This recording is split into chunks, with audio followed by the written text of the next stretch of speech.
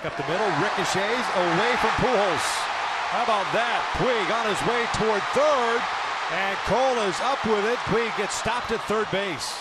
That'll more than likely be the last batter for Nolasco. Adam Nevelum, Charles Nagy, Mike Scioscia coming out. Yeah, that baseball was rocketed back up the middle on that one. So Ricky walks off. He'll depart with a couple of men on.